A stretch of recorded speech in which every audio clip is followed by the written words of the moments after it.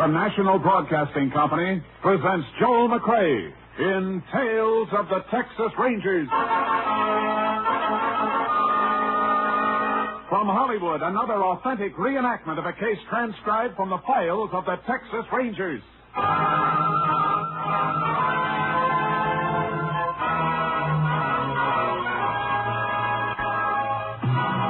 Tales of the Texas Rangers, starring Joel McCrea as Ranger Jace Pearson. Texas, more than 260,000 square miles, and 50 men who make up the most famous and oldest law enforcement body in North America.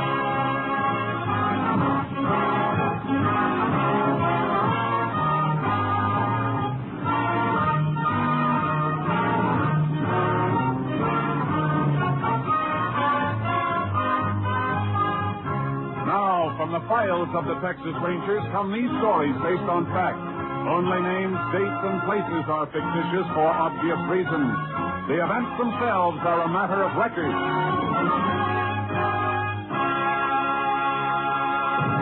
Case for tonight, open and shut.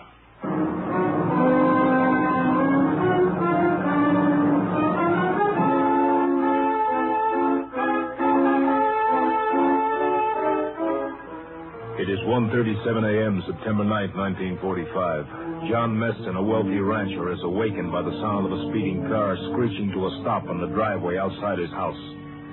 Seconds later, he jumps out of bed and reaches for a robe as the downstairs door opens. His daughter, Connie, comes up the stairs screaming hysterically. Connie! Connie, baby! What is it? What's the matter? Oh, Daddy, Bob. He's dead. He's, he's dead. Bob, dead? What happened to him? Connie, get hold of yourself. What happened? I'm frightened, Daddy. I'm frightened. There was a man with a, a bandana over his face. Where, Connie? Where? The old cattle road leads to the ranch. We were parked there.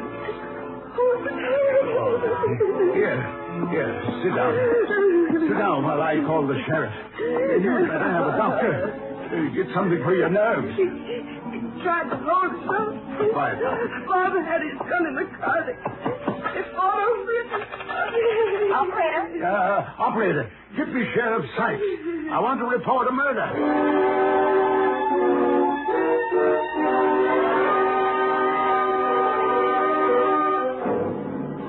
Connie Meston was in no condition to be questioned, and Sheriff Sykes had only an incoherent story to follow. He called the Texas Rangers. Ranger Jace Pearson was assigned to the case. He arrived at the Meston Ranch shortly before dawn. Might as well wait here in the library, Ranger. The doctor's still in with the girl. She's had a mighty bad shock. Does he tell you where it happened, Sheriff? Yeah, the old cattle road east of the ranch. I got some men riding out there now. They'll call us as soon as they find the body. That girl isn't going to be able to talk real soon. We better get out with your men. Oh, here's the girl's father. Sorry to keep you waiting, Sheriff. How are you, Mr. Meston? Glad you got here, Ranger. Can we talk to your daughter now, Mr. Meston? Uh, I'm afraid not. Doctors put her to sleep. Says she must have absolute rest for a few hours. There's no point in our waiting then, Sheriff. We can come back later. I'm sorry, but that'd be best. I'll walk out with you. What's the best way to get to that cattle road? Drive into town, then round the highway. Be shorter to cut across the ranch on horses. You got yours in your trailer. Maybe Mr. Meston will lend me one. Take your pick of the stable, Sheriff. Couldn't we drive across the range? No, you've got a ravine to cross and a stream to ford. What time did your daughter get home, Mr. Meston? Just a minute before I called the sheriff. Little after one thirty. I'd only been in bed about an hour. Locked up about 12.30 and turned in. Is this the car she came home in? Yeah, Bob Brady's car. I heard her drive up, then I heard her crying. Came in and tore up the stairs to my bedroom. I'm afraid it's going to take a long time to get over this. Don't let anybody touch this car until I can get a fingerprint man to go over it. Killer may have left his mark someplace. I'll see it ain't touched. Well, I'll go get me a horse in the stable, Ranger. How well did your daughter know Brady?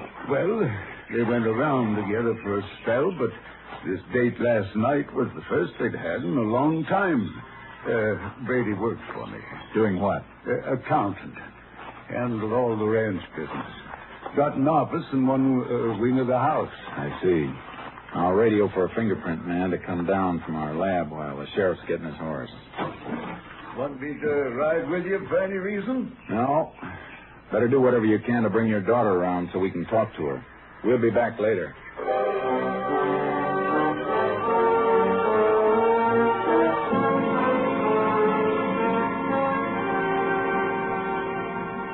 I made my radio call, and then Sheriff Sykes and I cut across the ranch to the old road. The riders had just found Bob Brady's body. Nothing had been touched. The riders waited while the sheriff and I went over the ground. Standing right beside the car when he was killed. Car tracks are heaviest here where it was parked. Yeah. Brady and the girl have been walking around, though. The prints go over that way and then turn around and come back here to the body. There's a third set of prints mixed in with theirs. Yeah, must be the killers. Yeah. Came up the road here and stopped beside the car and, and walked on again. Heavy powder burns on Brady's coat. He was shot from close up. I only saw the girl for a minute. Couldn't make much out of what she was saying, but I think Brady was killed with his own gun. How come? Carried an automatic in the glove compartment of his car. He toted quite a bit of the ranch's cash on him sometimes. Hmm, it's funny the killer didn't use his own gun, unless he didn't have one. Well, the girl said Brady tried to get his gun from the car. Fellow took the gun away from Brady and killed him. So I guess he couldn't have had a gun of his own. Hmm, it doesn't make sense. He was taking a mighty big chance, staging a holdup if he wasn't armed. Although I guess it was robbery, all right. Brady doesn't seem to have a cent on him. No wallet, no wristwatch, nothing. Yeah, no doubt about the motive. Well, I guess I better have the body moved into town. Deputy can notify Brady's mother. Yeah. And better order an autopsy report. Isn't going to tell us anything we don't know, though. Uh, keep a couple of your riders here. Sure thing, but what do you want them to do? Beat the brush and look for Brady's gun. And while they're looking, we can follow this extra set of tracks and see where they lead.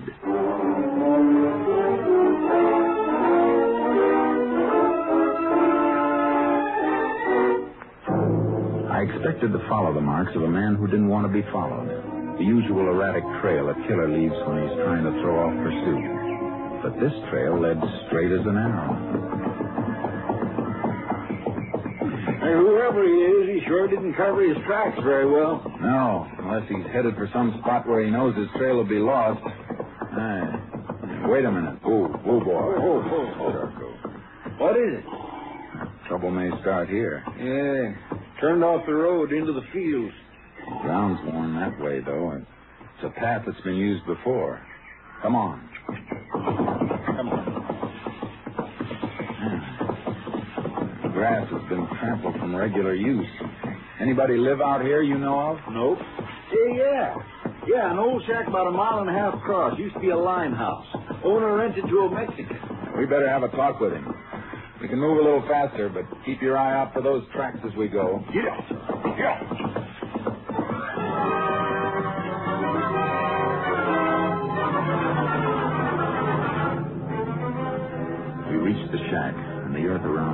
Around it were the boot prints of a man. They matched the ones we'd been following. He's in there, all right, Ranger. Yeah. He may still have that gun with him. He was up late. Could still be asleep. Come on. We'll see.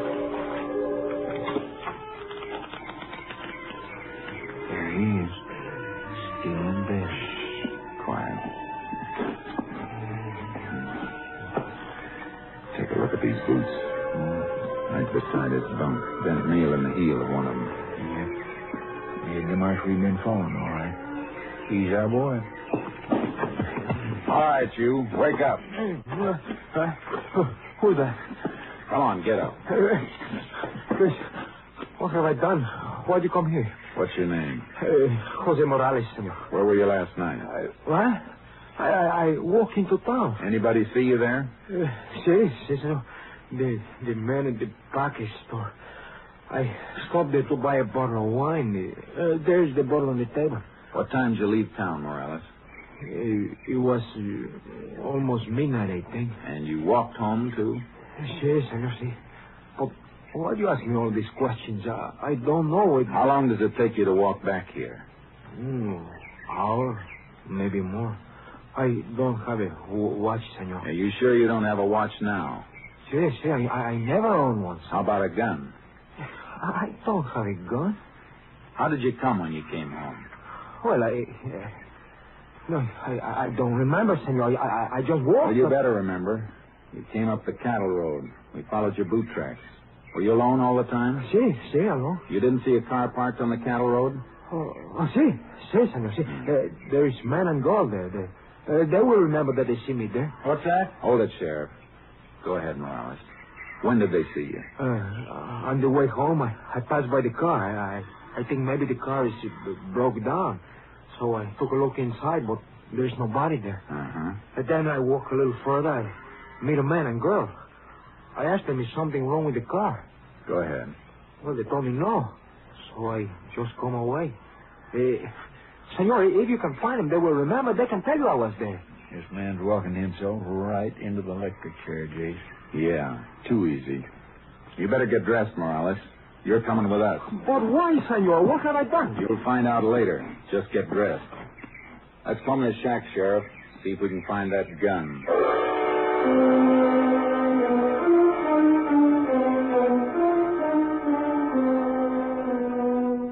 We didn't find the gun or anything else that might have been taken from Brady. And the sheriff's riders drew a blank, too. But we had enough to hold Morales at the jail. We locked him up and went back to the Meston Ranch.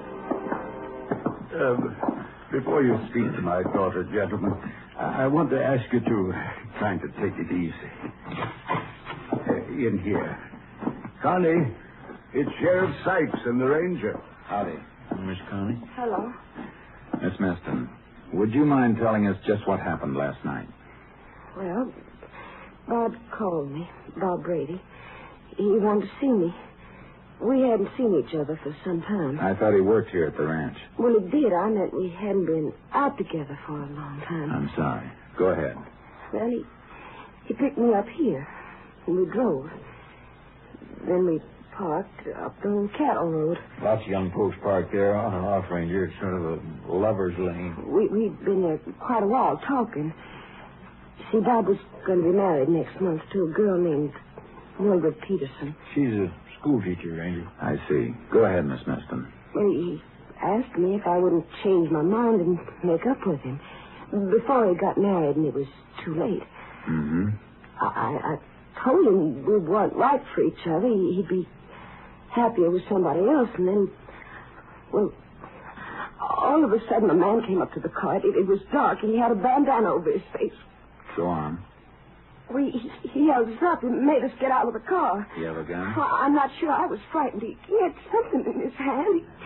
He, he took Bob's wallet and his watch, and then then he told us to stay right where we were. Didn't he take anything from you?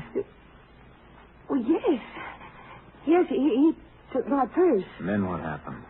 Well, all of a sudden, Bob made a dash for the car. He, he, he got his gun from the glove compartment, but the man was right after him. They, they fought. The man got the gun away from Bob, and then and he shot Bob and ran away. Hey, gentlemen, if you don't mind, Just I another think that... second, Mr. Meston. Miss Meston, what were you wearing? Well, Just a plain blue taffeta dress. It's right there on the chair.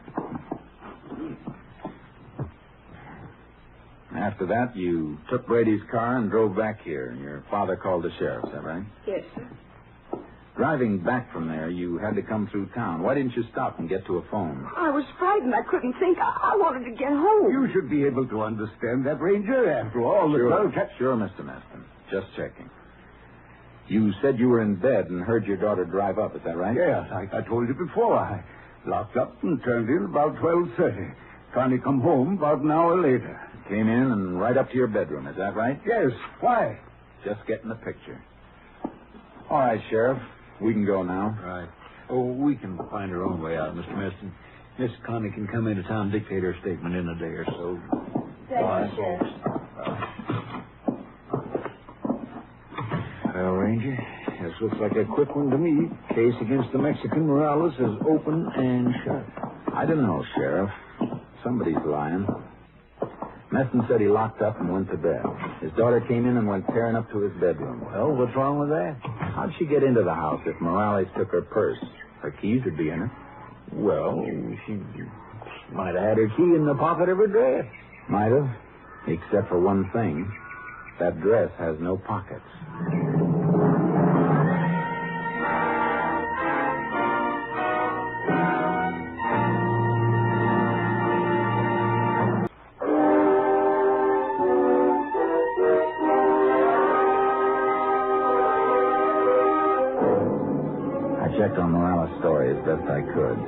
He had been in town and he had bought a bottle of wine to take home with him the night of the murder. But when I got back to the jail, the sheriff had evidence piling up against the Mexican. Your fingerprint crew dropped off copies of prints they found on Brady's car. Uh-huh. These prints were found only on the door of the car. Now, compare them with these. Hmm. Yeah, same man, all right. Matching set of the prints I rolled off Morales when we brought him in. He must have done it. Maybe. But I'm not convinced. I'll see you later. Here, where are you going, Ranger? To see Brady's mother and the girl he was going to marry.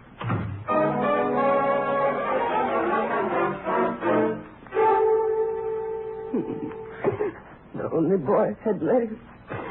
Two brothers were killed in the war. Please, Mother Brady, we've got to help the Ranger.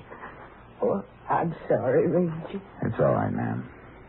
How long had it been since your son had been out with Connie Meston before last night? Six months. I thought it was all over.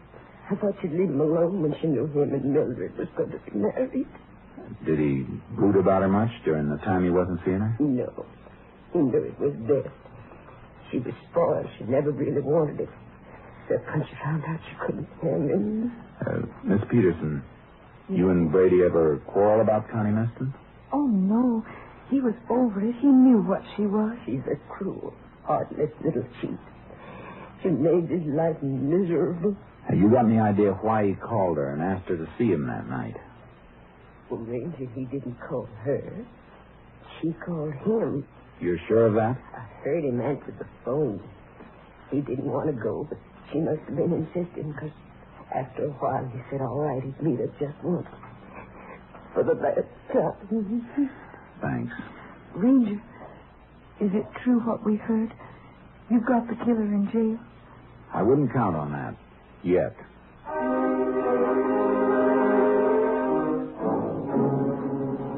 I went back to the jail and questioned Morales again. He was frightened, but his story never moved an inch from what he told us the first time. Then I saw the sheriff. I spoke to district attorney, Jace. He thinks we got enough to take the grand jury for an indictment. Give me one of the mug shots you took of Morales when you brought him in. Sure. Here's the picture. Thanks. I want Connie Meston to look at it and see if she can identify Morales. For she said the man who stuck him up had a bandana over his face. She said a lot of things, Sheriff. Brady struggled with the man who killed him. Morales carried a bottle of wine from town to his shack. We checked that. If he had a struggle with anyone, how come he didn't drop the bottle and break it? Yeah, it seems like it would have broke, don't it? You got a bandana here? Yeah, the one we took from Morales. Why? No, not that one. I want one with a different color and pattern. Maybe one of my deputy's locker. Get it. I want to see how many lies Connie Meston can tell. I won't be satisfied with the case against Morales until we find Brady's gun and the things that were supposed to be stolen.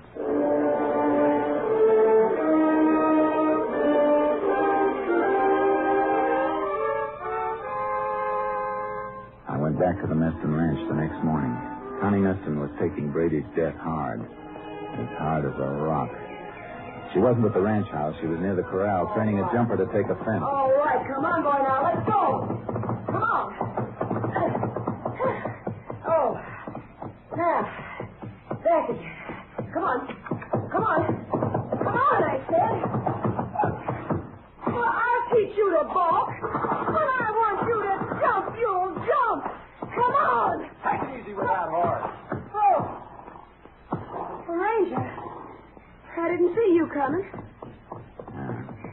See you've recovered from your shock.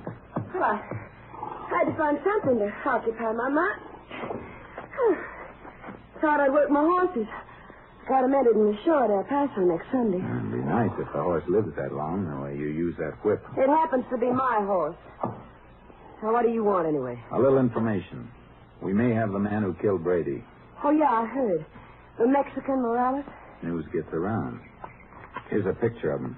Is he the man? Well, he could be. He looks like the one. What do you recognize? That scar on his chin? Yeah. Well, no. I mean, no. He, his face was covered. Yeah, I, I almost forgot about that. Is this the bandana you saw? Well, it, it was dark, but it was just like that one. Uh huh. Well, thanks. Uh, that all you want to know, Ranger? Yeah, that's all. For now. I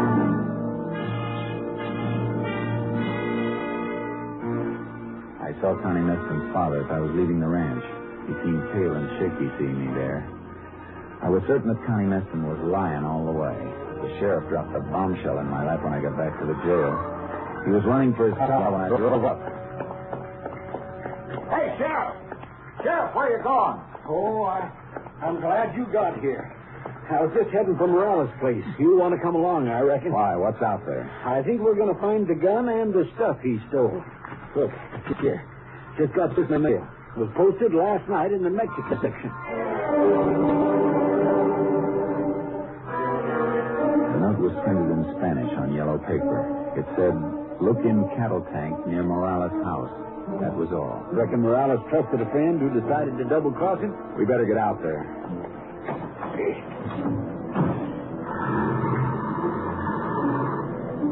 There's no doubt about this case now, Ranger. We find that gun, and Morales is headed for the electric chair for sure.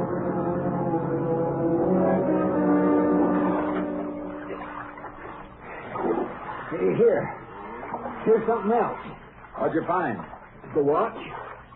Brady's wristwatch. Good. Well, this is all of it. Come on, let's get out of this water. Sure.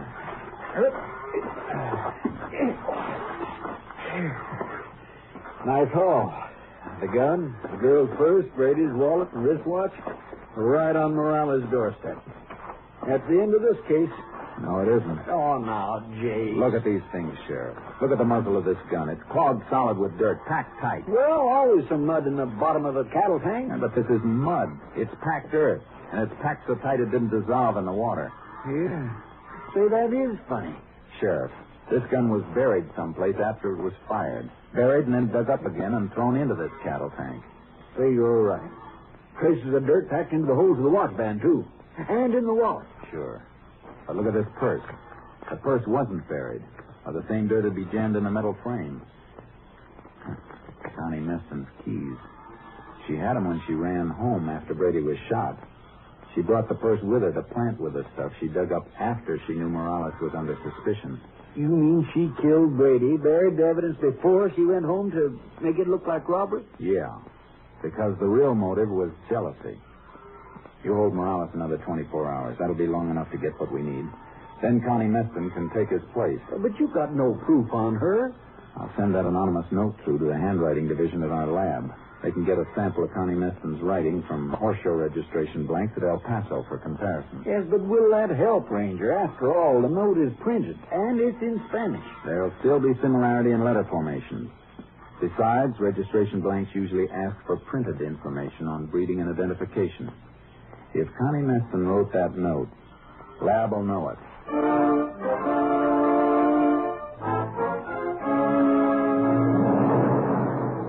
It checked. Connie Meston's printing on registration blanks for the horse show matched the printing on the anonymous note. It was almost enough, but I wanted one more thing. A trace of dirt on something she owned. A trace that would match the dirt that had been packed in the muzzle of Brady's gun when it was buried. I drove out to the Meston ranch and found Connie in the stables. Mind if I come in? Oh, you here again? What do you want this time? Thought you might like to know we found Brady's gun. Anonymous note told us where it was. Cattle tank out at Morales' place. Hmm. You got a good case then. No, Morales didn't put the gun in the tank. How do you know? Because the gun and the other things had been buried. They were dug up again and thrown in the tank. Well, maybe he decided to, to change the hiding place. While we were holding him in jail? No, it's not likely. Morales didn't kill Brady. Do you know who did? Not for sure, but we'll find out. Whoever dug those things up must have carried them in something while they were taking them to the cattle tank. Some dirt was jammed in the muzzle of the gun. We find out what it was carried in, clothing maybe, somebody's pocket. We can match the dirt in our lab. I see. That's very interesting. I thought you'd think so. Well, I guess I better be getting back to town.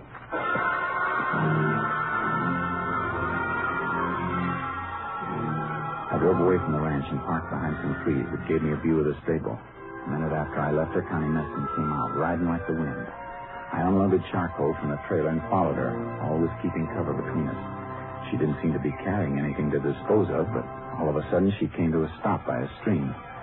She took the saddlebags and started to shake them out over the water. Oh, oh boy. Oh boy. All right, Charcoal, let's go. Get out, boy. Go. Stay right where you are, Miss Meston. What are you doing, Ranger? What's the matter with you? I'll take those saddlebags. Sure. Any log and empty them into a stream? None that I know of. Well, take them then, Ranger, because they're empty. Not as empty as you wish they were. And a few grains of dirt stuck in the seam. That's all we're going to need. Well, you can't make anything out of that. Oh, I got a few other things. That anonymous note in Spanish matched the registration blanks you sent into El Paso. I don't think you'll be showing your horses Sunday. Why, you... Give me that whip. You... I won't be using this again either. Now get on your horse and ride for the house.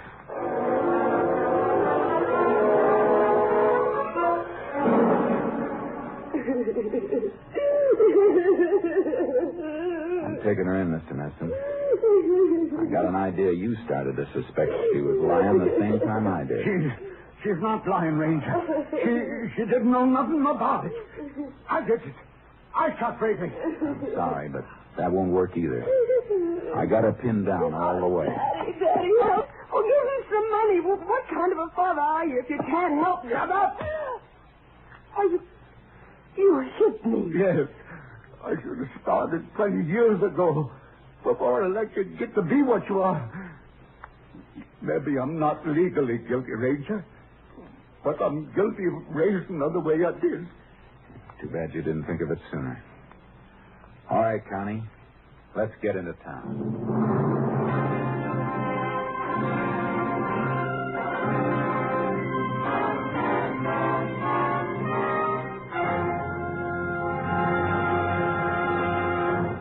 Connie Meston's trial was spotted with hysterics that failed to convince the court, although she maintained she was innocent in the face of overwhelming evidence against her. Then, as the trial neared a close, she changed her plea to guilty, and in an effort to avoid a death sentence, she confessed.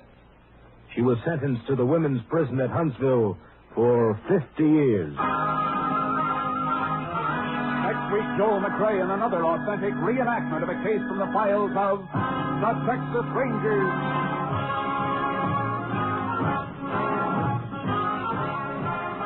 Joel McCrea is currently seen starring in the Universal International Technicolor production Cattle Drive. The cast included Tony Barrett, Joan Banks, Francis X. Bushman, Parley Baer, and Vivi Janiss. Technical advisor was Captain M.P. Lone Wolf Gonzaullas of the Texas Rangers.